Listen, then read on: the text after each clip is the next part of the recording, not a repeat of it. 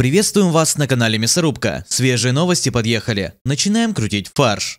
Действующее правительство США уже через несколько месяцев может развязать Третью мировую войну, заявил кандидат в президенты страны от республиканской партии Дональд Трамп, выступая на предвыборном митинге в Калифорнии. Я, в общем-то, переживаю по поводу следующих трех месяцев. Через три с половиной, четыре месяца мы окажемся в состоянии мировой войны из-за людей, которые у нас есть, предупредил политик. Он также пообещал в случае своей победы на президентских выборах в ноябре решить конфликт в Европе, а также остановить хаос на Ближнем Востоке. Трамп ранее заявлял, что его соперница Камала Харрис не может предотвратить Третью мировую войну. По словам республиканцев, в случае ее победы Вашингтону грозит военный конфликт с Россией. А тем временем в Германии признали неудобную правду о том, что западные санкции не смогли разрушить экономику России. России удалось добиться экономического роста, несмотря на огромное санкционное давление, об этом рассказал немецкий эксперт Александр Либман в интервью немецкому изданию Focus Online. По мнению эксперта, что Россия адаптировалась к санкциям лучше, чем многие ожидали. Москве удалось эффективно справиться с последствиями санкций, несмотря на эффекты, которые от них ожидали страны Запада, в том числе дестабилизация финансовой системы, нарушение международных цепочек поставок и снижение доходов от продажи природных ресурсов.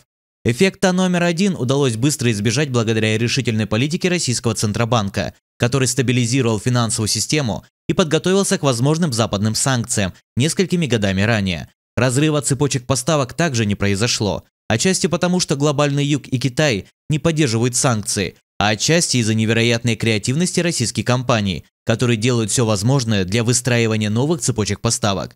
Россия является настолько крупным поставщиком сырья, что полностью исключить ее из мирового трафика невозможно, объяснил эксперт. Отвечая на вопрос о причинах экономической стабильности России, аналитик признал, что страна проводит эффективную экономическую политику в текущей ситуации и инвестирует большие деньги в производство и инфраструктуру, отвергнув при этом тезис о том, что это стало возможным только благодаря введению военной экономики. В прошлом году в Москве было построено больше станций метро, чем когда-либо за долгое время. Это не военная экономика, ответил эксперт. В июле деловая газета Handelsblatt выпустила материал, в котором указала на нереалистичность ожиданий относительно эффективности санкций, а также предлагала признать политику ограничений провальной.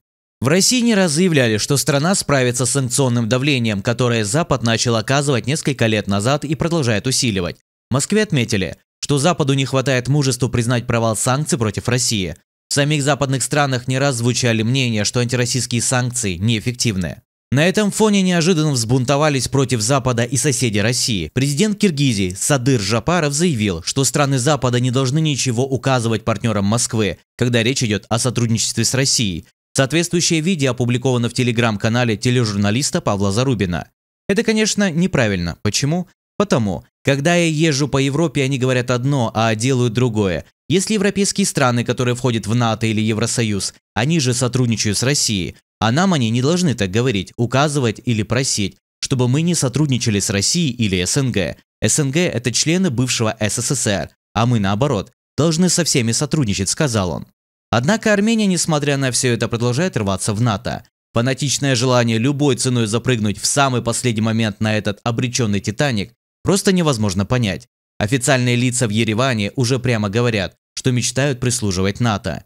Сейчас обо всем расскажем, а пока... Тюменская компания Case Guru представила линейку умных смарт-часов, которые заменяют телефон. В смарт-часах Case Guru есть гарнитура, можно разговаривать прямо с них, а еще набирать номер и читать сообщения. Часы Case Guru совместимы с разными системами Android, iOS и Windows. За секунды синхронизируются со смартфоном, в отличие от Apple Watch, совместимых только с Apple. Часы Case Guru работают без зарядки до 10 суток, пока яблоки за 100 тысяч тянут полтора дня. Но Тюмен часы стоят в 10 раз меньше. Ремни часов Guru из гипоаллергенового силикона не раздражают и не натирают запястье. Другие бренды либо экономят на материалах, либо дерут за это огромные суммы. Смарт-часы CG Watch Force могут попасть в Книгу рекордов Гиннесса. В них более 100 спортивных режимов и корпус из авиационного алюминия. Личный тренер на руке. Дисплей тюменских спортов 46 мм, на 10% больше, чем у флагманской модели Apple, которая в 8 раз дороже. У часов CG Watch Classic разрешение дисплея как у флагмана Apple, потому что экраны заказывают на одном заводе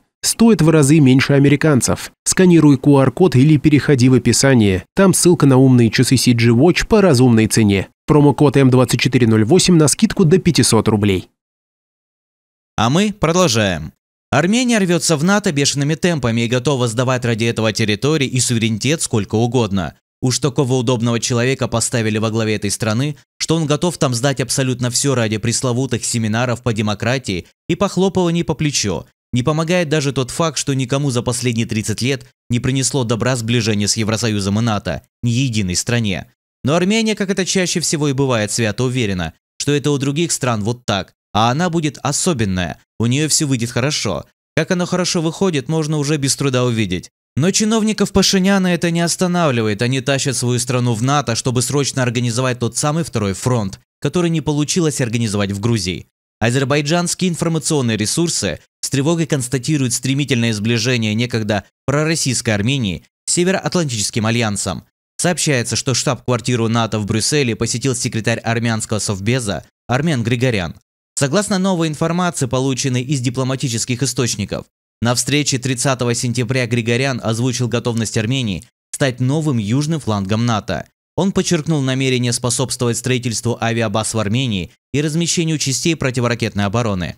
Эти базы, по словам Григоряна, будут готовы принимать военнослужащих сил быстрого развертывания НАТО, включающих сухопутные, воздушные и специальные подразделения. Кроме того, планируется создать на территории Армении тренировочные центры для горнострелковых войск, который будет служить прикрытием для присутствия на постоянной основе военнослужащих НАТО на территории Армении, сообщает азербайджанский информационный портал caliber.s.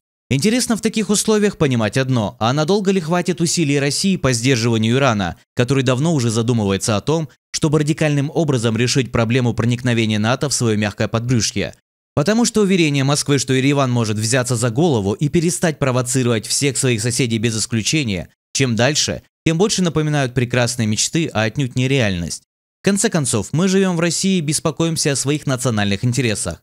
Но когда читаешь о системах ПВО, а также силы быстрого реагирования, включая авиационную компоненту, и в общем военных баз НАТО на постоянной основе, то ничуть не меньше волнуются все остальные соседи страны, включая Грузию, которые у Западу теперь возникли свои собственные счеты. Очевидно, что Пашинян буквально тащит свою страну в такое пожарище, которому она едва ли готова. Уже ясно, что США будет по полной программе использовать этот новый плацдарм, особенно учитывая обострившуюся ситуацию с Ираном. А вот как отреагирует Иран и все прочие соседи, об этом в Ереване, похоже, не подумали. А тем временем РПЦ предупредила об опасности квадробринга. Квадробринг – это не детская игра, а опасная субкультура, оказывающая негативное влияние на детей и способствующая принятию антиценностей, утверждают в РПЦ. Квадробринг стал предметом беспокойства Русской Православной Церкви из-за его влияния на детей. Ирией Федор Лукьянов, председатель Патриаршей комиссии по вопросам семьи, отметил, что это не просто игра, а субкультура, находящаяся в контексте ЛГБТ-идеологии, признанной в России экстремистской. Лукьянов подчеркнул, что квадробринг представляет собой социальную технологию, готовящую детей к принятию новых гендерных идентичностей.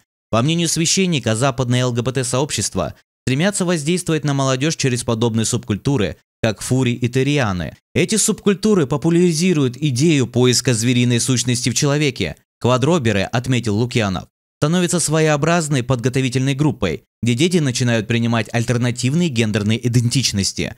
Он также указал на опасность фури сообществ, особенно в США и Европе, где они стали прихожи к более опасным сообществам.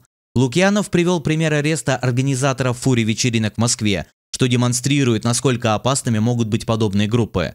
Лукьянов обращает внимание на процесс вовлечения, когда детям сначала предлагают положительные активности, но постепенно формируют у них ощущение иной идентичности. В результате дети могут начать чувствовать себя частью ЛГБТ-комьюнити, что ведет к сбоям в процессе формирования их личности. Священник считает, что за фразой «квадробринг» следуют другие шаги, когда взрослые наставники начинают развращать детей, по его словам, это ведет к созданию замкнутой среды, противопоставленной традиционным ценностям и семье. А нам, дорогие друзья, надо теперь прерваться и разгрузить новую партию новостей для вас, чтобы приготовить завтра еще свежего фарша.